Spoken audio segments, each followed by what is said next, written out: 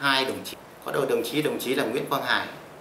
Hai đồng chí Trần Đình Đức. Có một đồng chí nằm và một chí tí ngồi, ngồi ở phòng bảo vệ.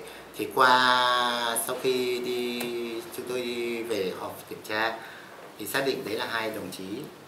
À, một là đồng chí à, Hải và hai là một đồng chí. Đồng chí cũng thực hiện nhiệm vụ chỉ huy là vừa đi khảo sát ngoài hiện trường trở về. Và khi về, các đồng chí, chúng tôi có yêu cầu đồng chí trường trình lại sự việc. Thì đồng chí kêu là à, một đồng chí có nói là về trời nắng, thay đổi tính chất, đồng chí mệt, đồng chí có sơ suất nằm, và một đồng chí ngồi ở đấy. Thì ở đây thì đội cũng tiếp thu cái việc các đồng chí như thế ngồi phòng bảo vệ và nằm phòng bảo vệ là không được. Như thế sẽ gây ra phản cảm cho lực lượng thanh tra.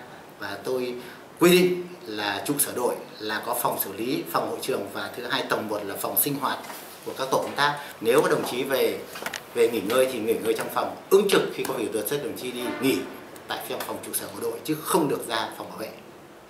Về việc này qua báo chí phản ánh thì đơn vị sẽ xin tiếp thu và tiếp thu và ngay sau khi có báo chí đưa tin thì uh, lãnh đạo thanh tra sở phòng tổ chức và đơn vị đội họp triển khai toàn thể đội để chấn chỉnh công tác về tư thế tác phong cho đơn vị.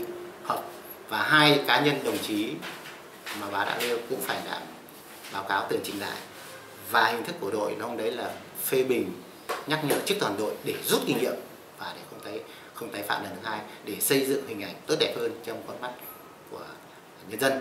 Thứ hai là là là, là, là nhắc nhở tất cả lực lượng anh em đơn vị cũng là rút kinh nghiệm chung đảm bảo tốt công tác giờ trực giờ rất trực. Thứ hai đảm bảo tốt công tác quy chế nội vụ theo tinh thần chỉ đạo của thủ tướng chính phủ và cũng như quy chế của thanh tra sở về chấn chỉnh công tác phục vụ tốt sau tết, đáp ứng mọi nhiệm vụ thường xuyên đột xuất của công ty qua cái video clip phản ánh về việc báo chí đưa về đội giao thông vắng bóng thanh trì thì phải khẳng định đội thanh tra giao thông di là một đội đơn vị sở, lúc nào cũng đảm bảo đúng người trực trong ca trực ở đơn vị vì đặc thù của ngành này là các anh, lực lượng thanh tra giao thông phải ra ngoài đường, có thể làm ca, làm kíp và không phải chỉ trong giờ chính và kể ngoài giờ chính bất kỳ có sự vụ nào trên địa bàn xảy ra như ùn tắc hoặc các phương tiện xe là có thể điều động đi ngay được các tổ công tác tôi điều động có lịch phân công công tác và phải ra thiện hiện trường để ứng trực theo các chuyên đề được giao.